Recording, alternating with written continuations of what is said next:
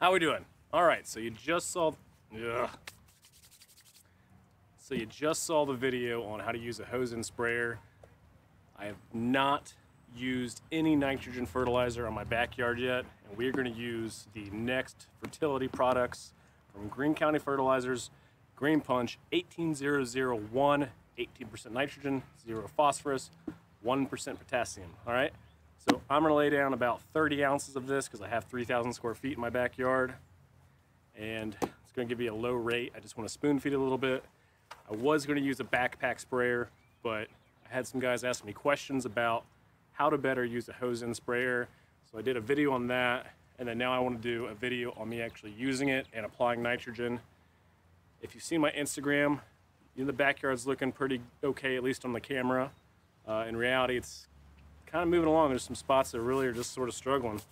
Um, we're well into spring, in my opinion, around these parts, Southern Ohio.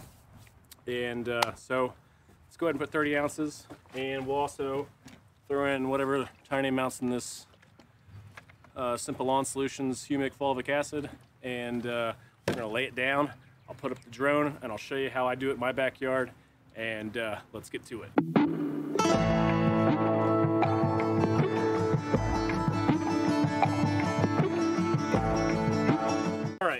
So this also has iron in it, and it also has some humic, and I believe it has sea kelp.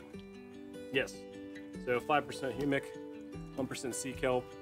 Sea kelp is a wetting agent, uh, awesome. Humic, as I've done videos before, check out that link above, is going to help you with soil up or nutrient uptake in your soil. It's not a fertilizer, it's just going to help you with that. So this stuff's cool.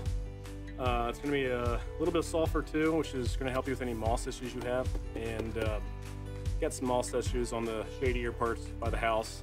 So it might help with that a little bit.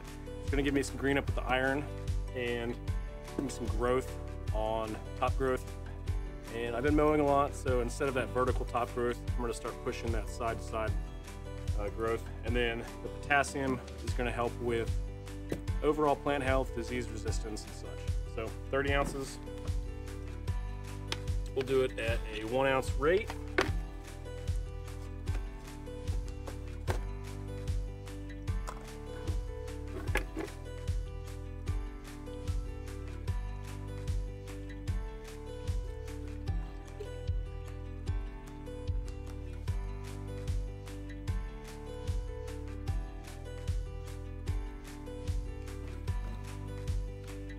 Pour the rest of the root human there.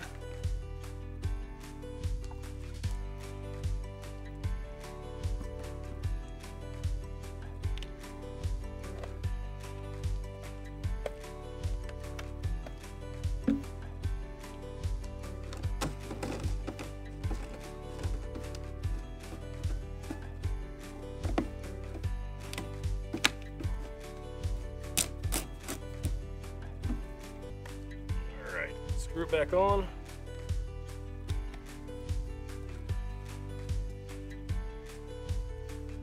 Set it to one ounce. Where's my thingy? One ounce there. One ounce to start with. We might go a little higher if we get a good pace.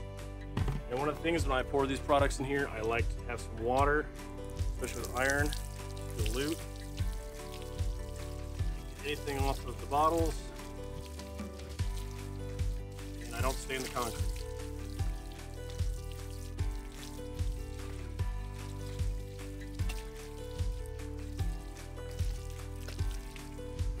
Perfect. Gloves for safety, eyeglasses so it doesn't splash in your eyes, long pants. I wear long short sleeves. Probably should wear long sleeves, but I'm not using any herbicides. So let's go ahead and get to it and throw her down.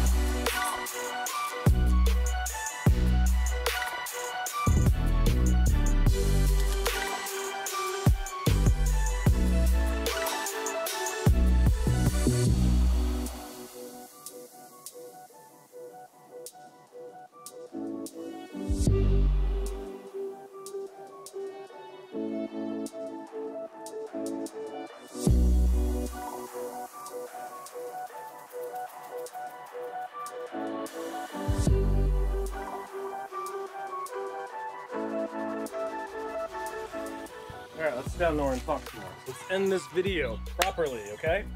So I just threw down the Greene Punch and threw out some drone vids on that on my process of back and forth in four diff two different directions so we get a good, nice, even blanket coverage.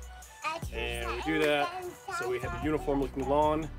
And we're applying nitrogen because I want to encourage lateral growth and I will get some vertical growth as well, obviously, spring. But I cut it often so I get that nice vertical growth, fill in any little bare spots. Uh, I think Allyn Hane says if you have 30% lawn, you can have a great lawn with some fertilizer applications, and that is definitely true. So we're not at mid-spring yet, but we're well into spring here in southern Ohio, and we have some really good ground soil temperatures. It's been a little cooler lately, but here, here. But I think now is the time to start throwing on your nitrogen. And uh, I'm getting crowded out here. Come here. Hey, come here. Rah! So, if you like this video and you want to use the N-Ext fertilizer project of the Greene Punch, I'll have a link in the description below. And if you like the video, that'd be great. And if you want to stick around and hit that subscribe button, there's something in that box for the next video. So, see you next time. Bye. Bye. Can you say bye? Bye. Bye.